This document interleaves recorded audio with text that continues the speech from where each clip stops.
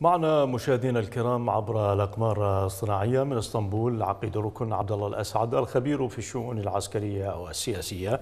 مرحبا بك سيد العقيد ركن عبد الله الأسعد.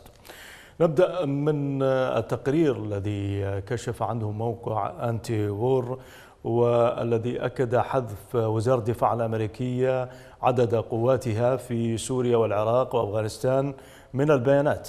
ماذا تعني هذه الخطوة؟ وما تحمله من رسائل؟ مساء الخير لك وللسادة المشاهدين. حياك الله. يعني في واقع الحال الولايات المتحدة الأمريكية طبعا لها قوات منتشرة في كافة أصقاع العالم. آه، آه، في ما يخص المنطقة الآن المشتعلة هي منطقة العراق وسوريا. آه، أكثر سخونة من أي مكان سابق كان فيما سبق أفغانستان. أما الآن منطقة يعني المنطقة العربية العراق وسوريا هذا يتعلق بأمن القوات. في كل آه، يعني جيش آه، هناك أمن يسمى الأمن العسكري أو الأمن الحربي لهذه القوات. فعندما تبدأ أي عملية ونحن نعلم بأن القوات الأمريكية يعني شنت حربا ضد داعش في تلك المنطقة وكل الجيوش وخاصة الجيوش العظمى يعني ليست كل القوات مثلا التي تقاتل مع هذا الجيش هي من صلب هذه القوات. هناك قوات مرتزقة تقاتل مثلا مع القوات الأمريكية أي متعاقدة مع هذا الجيش. هي ليست من ضمن يعني آه، من ضمن تعداد هذا الجيش الأصلي أساسا. طبعا هو في القيود مسجل وإنما يعني في حال مثلا تم مثلا مقتل هؤلاء الجنود. طبعا يعني تحاول تحاول الولايات المتحدة الأمريكية آه، يعني عدم إدراج أسماء هؤلاء من ضمن القوات المتواجدة فعلا على أرض العراق ولكي آه، يعني يصبح لديها شيء اسمه أمن أمن القوى البشرية أمن القوات أمن العناصر وهذا فرع طبعا يتخصص يعني في كل مخابرات العالم بموضوع القوات التي آه، تقاتل على أرض آه، غير الأرض التي آه، هي موجودة فيها يعني خارج أراضيها.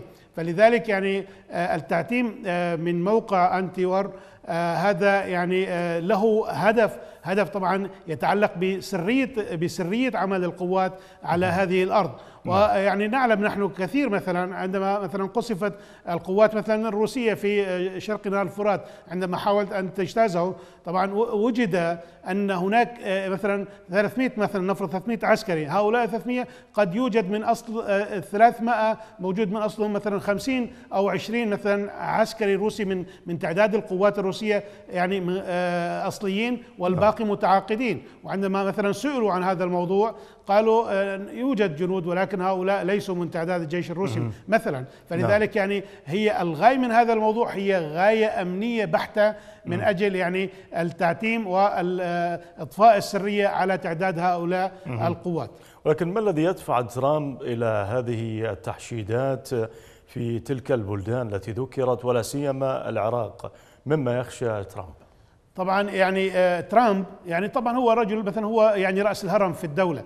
آه يعني ما يسعى أو ما يعمل عليه العسكريين في تلك المنطقة طبعا يعني هو عملية يعني وصل وصل آه يعني الخط الخط العسكري أو القواعد العسكرية مع بعضها البعض آه، آه، في العراق حتى الوصول إلى إلى آه، سوريا في الشمال الشرقي من سوريا.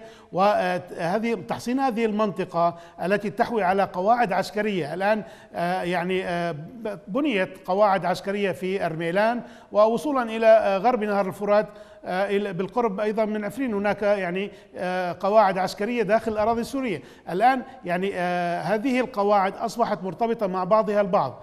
تحتاج هذه القواعد إلى عساكر آه، أو إلى عسكريين من أجل حماية هذه القواعد، طبعا آه، أمريكا لديها جنود واعتمدت بعد حرب العراق نعم. على تقليل نسبة العسكريين، يعني وعدم إقحام العسكريين آه، نتيجة الخسائر التي تعرض لها في العراق، حوالي يعني 4000 ونيف من العسكريين قتلوا في العراق والكثير يعني أعداد بالآلاف من الجرحى والمعاقين والمبتورين الأطراف، فلذلك اعتمدت على القليل من العسكريين الأمريكيين والمرتزقة وعناصر من من أبناء المنطقة. طبعا اعتمدت هي في سوريا على على قسد واعتمدت طبعا في العراق على أيضا يعني ميليشيات لكي تكون حماية لهذه القواعد هذه القواعد المتمركزة طبعا في الجانب السوري في منطقه منطقة النفط السوري نعم. المنطقة الغنية بالثروات بالنفط والغاز وكلها وأيضا في العراق الذي أصبح الآن يئن تحت نير الفقر والإستغلال والاحتلال الذي يحرم أبناء أبناء هذه المنطقة من عائدات هذا النفط فلذلك يعني آه هذا التحشيد من أجل التمسك بهذه المنطقة الغنية نعم. وحمايتها بشكل كبير وفي ظل مكسب اقتصادي وحماية جنوده من نعم. التعرض للقتل ومن أي نيران أخرى ووجدنا بأن القوات الأمريكية أيضا يعني وضعت خطوطا ممنوع لأحد أن يتجاوزها طيب. على الجانب السوري مثلا عندما تقدمت قوة آه، من الحج الشعبي مباشرة تم إطلاق النار عليها وقتل كل من تقدم باتجاه هذه المنطقة. وسط هذه الحرب الباردة في المنطقة وصراع النفوذ والدور الإقليمي إلى أي مدى تعتقد صدقية وجدية التصريحات الأمريكية بشأن تقليص دور إيران في المنطقة ولا سيما العراق وهي المسؤولة عن هذا الفراغ الذي تركته لصالح إيران منذ عام 2011 في العراق؟